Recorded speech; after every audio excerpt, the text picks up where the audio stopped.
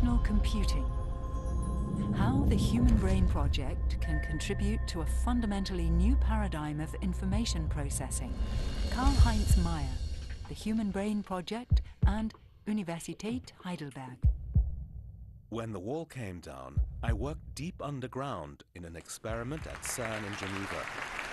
There's actually a piece missing of the statement I made when I worked down there in Geneva. I said that we started to discuss the effects of the changes in Europe, and I said most of my predictions were wrong. So I'm terribly bad at making predictions, and today I want to try once more. Uh, I will start with a photo that has been taken 60 years ago. It shows two physicists, actually, at the Princeton Institute of Advanced Science studies, and it's uh, John von Neumann on the left and uh, Robert Oppenheimer on the right. And they are standing in front of a really strange device. It's made out of funny objects, and it is, in fact, one of the first programmable digital computers. And Robert Oppenheimer used it to simulate neutron diffusion. He also applied it to weather prediction already. And John von Neumann is the architect of that machine, and he designed what is now called the von Neumann architecture, and which has, with some deviations, survived until today. It's actually in all our cell phones. And these machines are amazing in terms of their capabilities, and computer scientists like to measure the performance of computers in flops.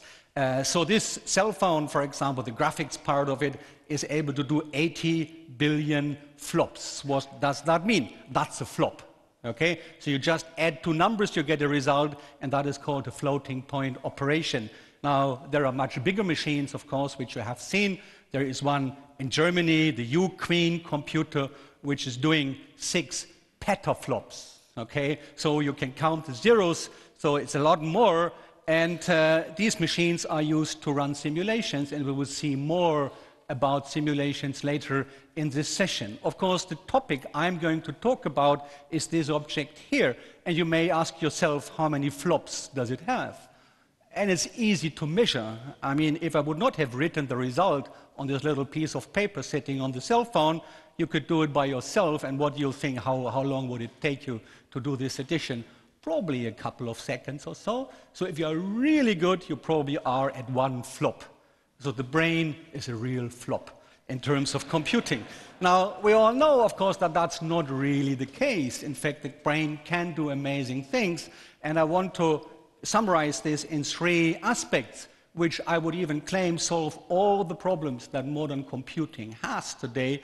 And the three problems are power, are software, and are fault tolerance or sensitivity to faults. What, what, do I mean by that? In terms of power, of course, we know that the brain is an amazingly efficient device. You can do your own measurement, just put your hand uh, to your brain and you measure it's like a, an old fashioned light bulbs, those which are forbidden by now, uh, of typically 20 watts or so.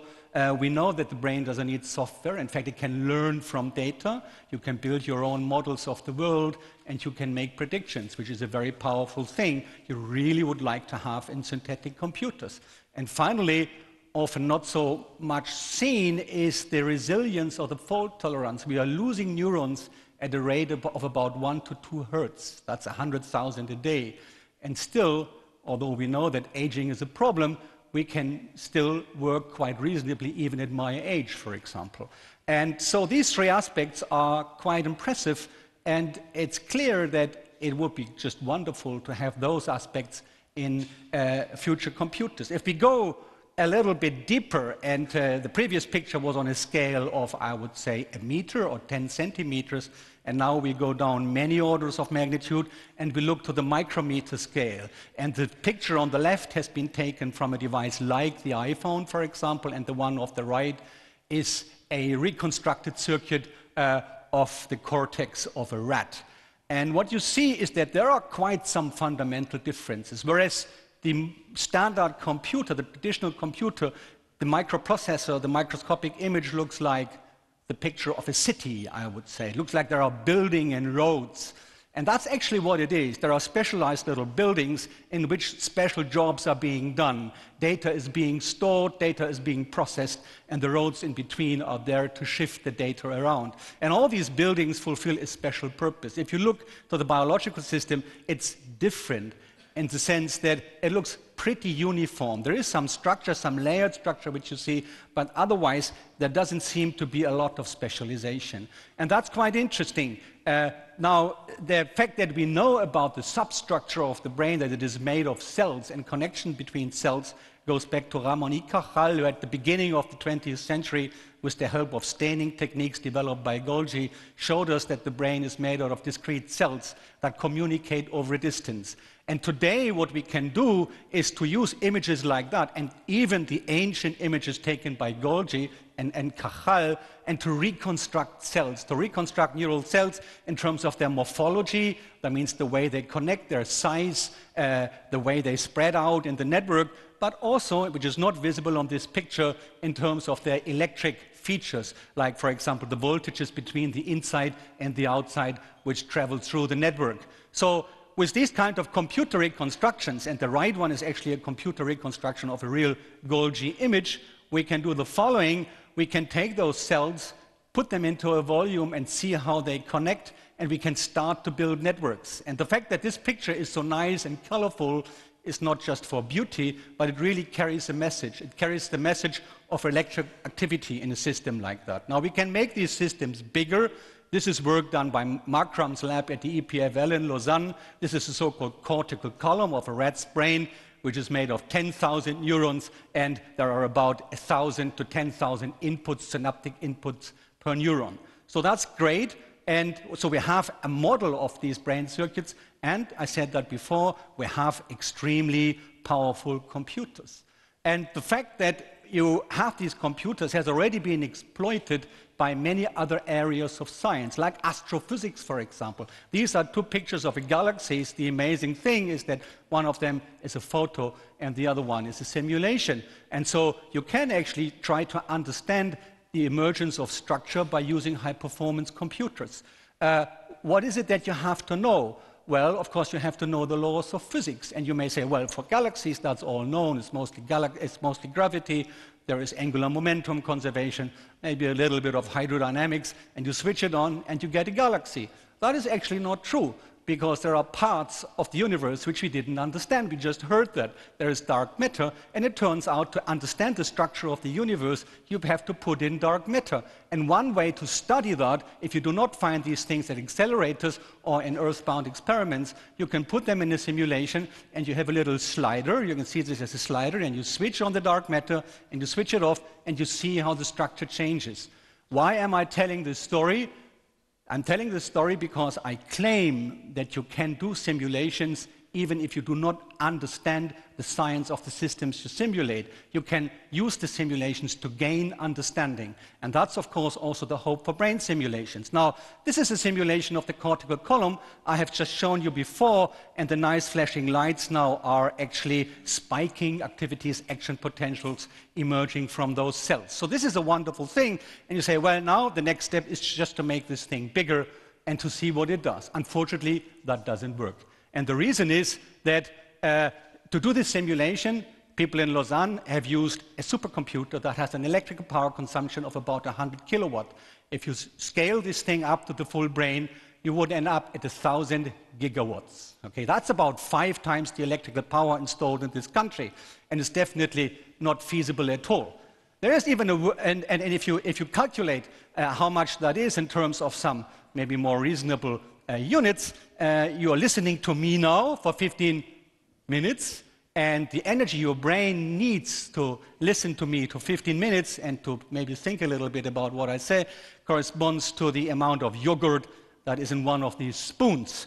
If you would operate a computer that simulates your thinking during, uh, during these uh, 15 minutes, you would need an amount of yogurt which corresponds to this, uh, the mass of this aircraft carrier. So there is definitely a problem with energy, but there is another problem as well, and that's the problem of time. To simulate an hour, and of course, an hour is an important time, for example, for learning and development, to simulate 24 hours, one day, you need typically three years. And this is because these simulations are much slower than the actual process in biology. Simulations are slow and they are very energy intensive. Now, if we look a little bit in detail to the structure of cells, you see that they are basically electrical devices. There are currents flowing, there are capacitors, and there are two ways to treat this. You can write down an equation. It's a terrible thing. There is an equation on the right here, and this is what you solve on a computer. What you can also do is to take little electronic circuits and to build a copy, a physical copy of neural cells. And uh, so we are doing this in the Human Brain Project, and what you see here is a chip design. It's as thin as a hair and has a length of maybe 200 micrometers or something like that. And that is a physical model of a neuron. It's made of 300 transistors. And now the trick is if you have one, you can also make two, and maybe you can make four, and six, and eight, and 10, and 12. And that's already a lot. So you could put many of them on what we call a microchip. And in fact, most of this area in this microchip is then taken by connections, not by the neurons. And then you can produce this microchip, and you have a little physical model of a brain circuit. Now you see that this thing is not really scalable. You see these little wires emerging from the chip. That means if you want to build bigger systems, you have to connect those wires and build very large scale systems. That's not very convenient. So, what we do in the Human Brain Project, we uh, take those chips which are delivered by the company, and the company doesn't deliver chips, they deliver wafers. And so the question is why you cut these wafers into pieces if you want to connect them afterwards in any case? So we leave the wafers intact, we build a system like that, and we operate it. If physicists build something that looks like this, it's a, it's a mess. You have to connect it to the outside world, you have to send data in and read that data out, and you have a, a physical model of a brain circuit. Is this really solving problems? Is it, using, is it solving energy problems? Well, actually, it does. If you look to the energy that is needed for a simulation of a synaptic transmission, it's typically a joule for a high performance computer simulation, and it's about 10 to the minus 10 joule for the physical model system. More importantly, these systems can be accelerated. That means time in systems like that is not the time that is imposed by a clock like on the computer, but is imposed by the time constants of the physical components like the transistors and the capacitors. So if you build the right components, you can build a system that is accelerated, for example, accelerated by a factor of 10,000. So you use 10 to the minus 10 times the energy, and you do the simulation 10,000 10, times faster than nature. Uh, so a day, for example, is compressed to about 10 seconds. Uh, what can you do with it? Well, for example, there is this nice animal, the barn owl. And as I cannot see you with all these light blinding me, also the barn owl in the dark cannot really locate the mouse by looking at the mouse, but it can do it by using acoustical signals. And it has developed a very clever way of doing that by using the time difference. The, the, the mouse is this little black dot there, and you see that the path to the right ear and the left ear is different, and the, the neural circuit of the barn owl has learned to compensate for that time difference by very clever learning algorithms. So experiments like that can be implemented in these physical systems, and they can, for example, be used to do navigation in cars. Let me close my presentation by making a little comment on the Human Brain Project. What I explained to you is just one little aspect of the Human Brain Project. It's the end product in the way, it's the circuits that arise from the studies that other people in the project do. The project has been approved in the beginning of this year. It has been running now since October, and it's really a collaboration of neuroscientists, engineers, mathematicians, and physicists. And the workflow is that we start from biological data, we use the biological data to build models, to build models that we can simulate on conventional supercomputers. We will then reduce the complexity of the cell models and we put it into what we call physical models, which at the end are computers like the ones I just described. Thank you very much.